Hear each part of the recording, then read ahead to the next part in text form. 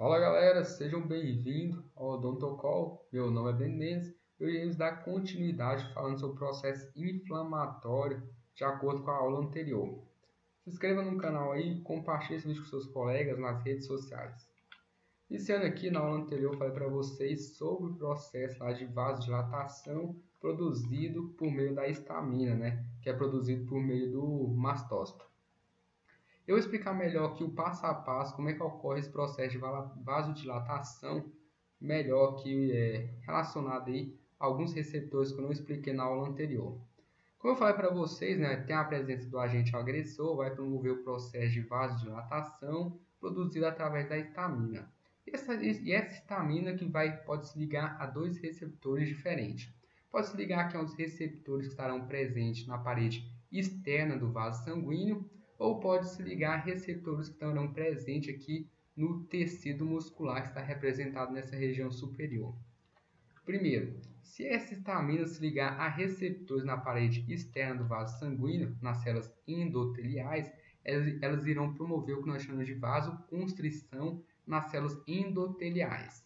Essa vasoconstrição, como eu falei, vai permitir a saída de plasma sanguíneo, que eu irei comentar na próxima, nos próximos slides, qual que é a consequência da saída desse plasma sanguíneo.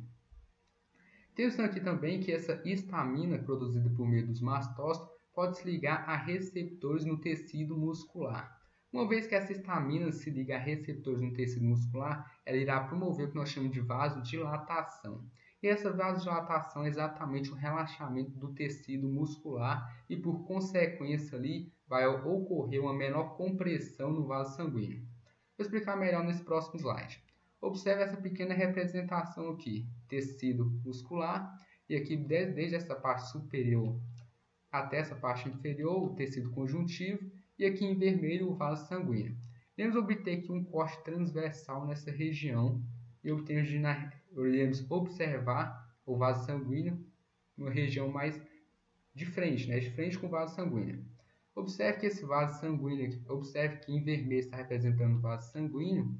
Em toda essa região aqui, desse, dessa parte inferior até essa parte superior, está representado em azul, que é o tecido conjuntivo.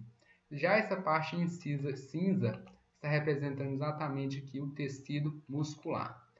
Relembrando, houve a produção da histamina, essa histamina foi produzida por meio dos mastócitos e ela vai se ligar a receptores no, receptores no tecido muscular. Uma vez que essa histamina se liga ao, aos receptores do tecido muscular, ele vai promover o que nós chamamos de relaxamento. Esse músculo, por sua vez, vai sofrer o processo de relaxamento. No momento que esse relaxamento ocorre, ele vai permitir uma abertura aqui, um pequeno espaço né, entre o músculo e o tecido conjuntivo. E por consequência, o tecido conjuntivo também vai relaxar e também o vaso sanguíneo vai relaxar, permitindo assim o aumento do seu diâmetro. E esse processo é conhecido como vasodilatação. Todo esse processo que eu estou explicando aqui nessas aulas são estou explicando exatamente de uma forma associada, né? de uma forma consequências, mas está ocorrendo vários eventos vasculares, todas consequências do processo inflamatório ao mesmo tempo durante, durante o é, durante o processo do agente agressor. Mas ele dá continuidade aqui na explicação. Voltando novamente, já expliquei para vocês sobre o processo de vasodilatação, como ocorre. Eu quero explicar para vocês aqui que ocorreu uma vasoconstrição promovida exatamente pela histamina no momento que ela se ligou aos receptores das células endoteliais na parede externa do vaso sanguíneo.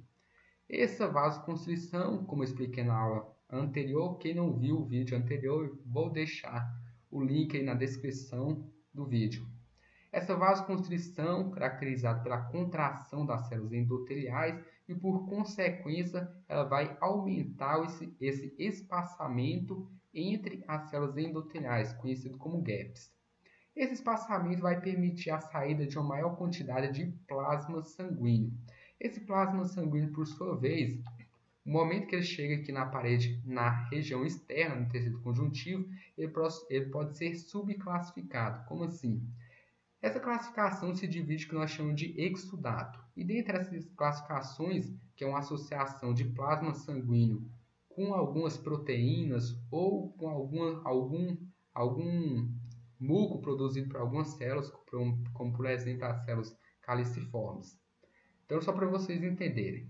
Saiu o plasma sanguíneo para o meio externo, esse plasma sanguíneo pode ser classificado em subcategorias. E dentre essas categorias, a primeira que eu ia explicar para vocês aqui é o plasma sanguíneo, né, que é conhecido como exudato, é o exudato seroso. Observe essa lâmina histológica. Temos aqui nessa região o tecido conjuntivo, nessa região mais superior o tecido epitelial, delimitado aqui desde essa parte inferior até essa parte superior, conhecido como tecido epitelial, e aqui nessa região podemos observar exatamente aqui a presença de um vaso sanguíneo. Eu vou explicar no próximo slide, mas tem um evento vascular ocorrendo inicialmente aqui diante do processo inflamatório que é conhecido como estase vascular. Estase vascular, ou também conhecido como hiperemia, que é exatamente o aglomerado de hemácias no centro do vaso sanguíneo, caracterizando exatamente aqui essa vermelhidão, a vermelhidão na pessoa, aspecto clínico, mas irei explicar melhor nos próximos slides.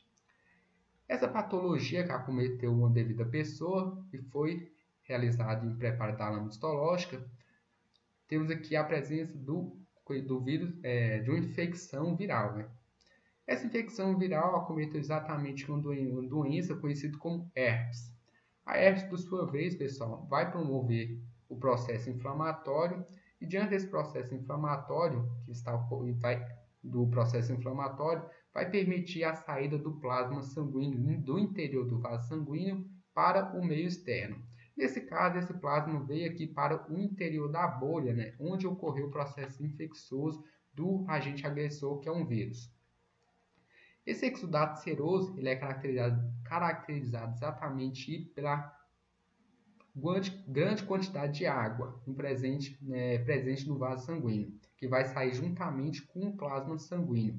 Por esse motivo, temos que a lâmina, né, a lâmina nessa região apresenta, um, é, apresenta uma cor translúcida, uma cor clara, diferentemente que eu irei mostrar no próximo slide, são uma coloração mais rosa no exudato fibroso. Então, o exudato seroso é o exudato pela baixa quantidade de proteínas, rico em água.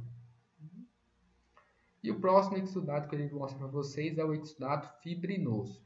Primeiramente, o exudato fibrinoso, como vocês podem ver nessa lâmina histológica, temos aqui a presença de um vaso sanguíneo.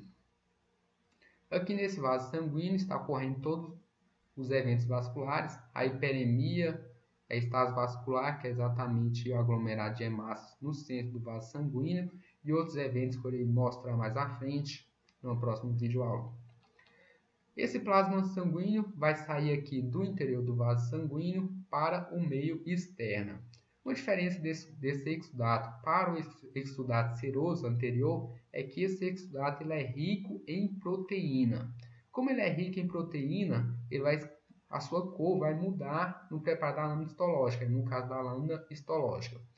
Se vocês observarem aqui, essa região em rosa representa o exudato fibrinoso, que é, que é juntamente o plasma sanguíneo rico em proteínas. Como ele é rico em proteínas, sua coloração vai tender a ficar mais rosa, um rosa mais claro. Essa é uma diferença em relação ao exudato seroso. Exudato seroso está associado a infecções virais, possui uma coloração mais clara na histológica, enquanto o exudato fibrinoso é o exudato mais rosa, rico em proteínas. Outro tipo de exudato, que pode ser também conhecido como exudato fibrinoso, é a mesma classificação do anterior, só que esse exudato ele é formado em uma região diferente. Temos aqui a presença do tecido conjuntivo e aqui nessa região houve a formação de uma úlcera. A úlcera, por definição, é a perda do tecido epitelial e exposição ali do tecido conjuntivo. Pode ser por uma faca, se teve um corte ali e pode ter ali a formação do exudato fibrinoso. Pode ser por uma queimadura, por exemplo, temos aqui o houve a perda do tecido epitelial nessa região superior e, por consequência, houve todo o processo inflamatório e permitiu a saída do plasma sanguíneo. Só que esse plasma sanguíneo ele é rico em proteína. Ele vai se depositar na parede superior aqui onde houve a exposição do tecido conjuntivo, de tal modo que ele vai ajudar a formação da crosta e também na renovação do tecido, do tecido epitelial, que vai se iniciar o processo de renovação. Esse é o, é exudato fibrinoso. E o próximo exudato é conhecido como exudato catarral ou mucoso. Primeiro, o exudato catarral mucoso está associado a uma célula. Alguma célula tem que, ser, tem que produzir o que nós chamamos de muco. O muco que será, que será produzido por uma célula, ele vai estar associado ao plasma sanguíneo. Só que se associar ao plasma sanguíneo juntamente com o muco, irá produzir o que nós chamamos de exudato catarral ou mucoso. Primeiramente, catarral, nós falamos mais essa nomenclatura para regiões respiratórias, a região respiratória. Nós chamamos exatamente exudato catarral. Quando no intestino delgado, por exemplo, tem algumas células responsáveis pela produção do muco. São conhecidas como células caliciformes. Observe exatamente essa região que algumas células na região mais branca são conhecidas como células caliciformes. Essas células são responsáveis por produzir o muco. Uma vez que ela produz o muco, alguns vasos sanguíneos aqui na próxima região, essa região aqui da lâmina histológica, do intestino delgado, irá produzir exatamente uma associação do plasma sanguíneo juntamente com, com o muco produzido pelas células caliciformes, produzindo o que nós chamamos de exudato catarral ou mucoso. E o próximo exudato é conhecido como exudato purulento. Esse exudato está associado aí a, a infecções bacterianas, infecções fúngicas, agentes biológicos que irão promover o que nós chamamos de exudato purulento. Primeiramente, esse exudato, lá como vocês sabem, ou, ocorreu o processo inflamatório, vai é, explicar melhor mais no próximo slide, que nessa característica aqui desse exudato é uma associação de associação do ciclo do ácido araquidônico, que irá produzir através do, da fagocitose do neutrófilo pra, do, do agente agressor e, por consequência, para a formação do pus durante esse ciclo do ácido araquidônico. Mas eu vou explicar no próximo slide melhor. Primeiro, exudado purulento é uma associação de formação dessas áreas brancas nessas regiões que é conhecido como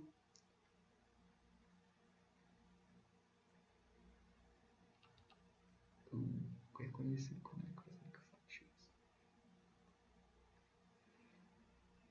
que é conhecido como necrose liquefativa. Essas regiões branquiçadas aqui, que ocorreu inicialmente a necrose do tecido, logo depois a formação dessas regiões mais brancas para formações do pus. E o pus, por sua vez, no preparo da lâmina histológica, ele é retirado ali através da, dos preparos, né, das etapas da lâmina histológica. E a formação dessas áreas em brancos em todo o tecido a perda do tecido, formando que ficando exatamente as áreas em branca, que é conhecido como necrose, os focos liquefativos, que é conhecido, essas áreas em branco são conhecidas como foco.